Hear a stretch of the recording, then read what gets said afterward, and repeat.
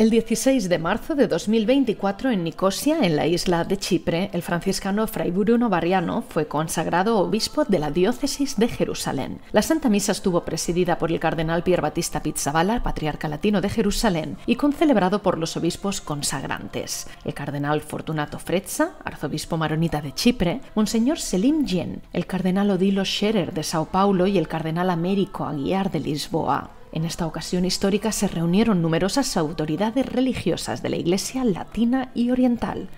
Estuvieron presentes las autoridades civiles y políticas con sus representantes, así como familiares y amigos.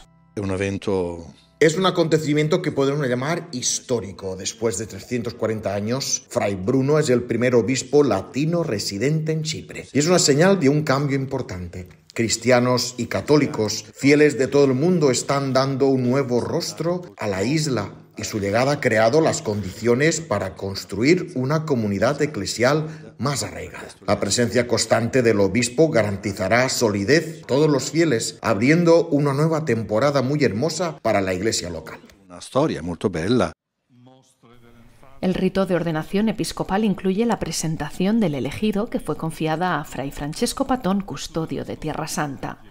Monseñor Giovanni Pietro d'Altoso, nuncio apostólico de Jordania, realizó una lectura pública de la carta apostólica con la que el Papa Francisco nombra al padre Bruno obispo de Chipre, precisamente por su atención pastoral y para demostrar su mirada benévola hacia esta iglesia particular.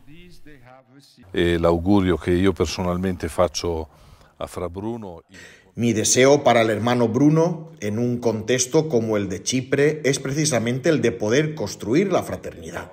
Y por supuesto espero también que el hermano Bruno pueda ser, robando las palabras del Papa Francisco, un pastor que huele a oveja, es decir, que siempre sepa estar junto a la gente y percibir cuáles son sus necesidades más profundas.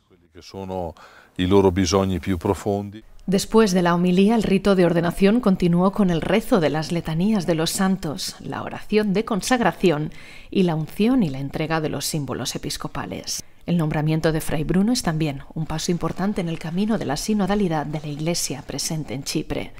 Desde su llegada en 2022 como vicario patriarcal de la isla, ha comenzado a construir buenas relaciones de escucha y servicio a la comunidad.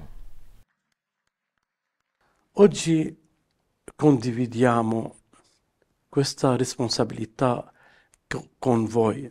Hoy compartimos esta responsabilidad con Monseñor Bruno. Llevemos juntos con alegría la cruz y caminemos con él por toda la isla, difundiendo la palabra de Dios en su buena tierra. En los momentos más oscuros y más brillantes nos encontraréis a vuestro lado.